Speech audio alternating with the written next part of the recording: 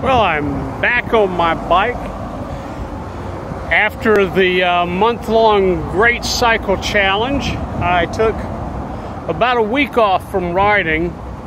Um, we went up to visit my son in North Carolina, and well, riding in Raleigh is a lot different than riding here in Florida. There are a lot of hills and they all seem to go uphill. I'm not sure how they do it, but every time we'd walk or ride around there, it seemed like we were always just going uphill and never never getting to coast downhill. So I didn't ride a whole lot. Also because I had my bike on the back of our RV that we rented to go up there and visit him and it was kind of a pain to get the bike on and off of that bike rack on the back. It was uh, a lot higher than the one on my car, and so I had to do a lot of lifting of my bike, and I don't have,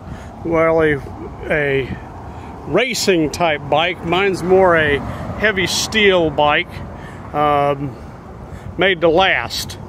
And uh, my wife's is even heavier, and so I only took them down off of the bike rack I guess twice for the week that we were up there, and uh, that was that was plenty. But now I'm I'm back here in Safety Harbor, and uh, while I may not ride as much as I rode uh, for the Great Cycle Challenge, I am going to go, you know, four or five times a week uh, to get my uh, my exercise in.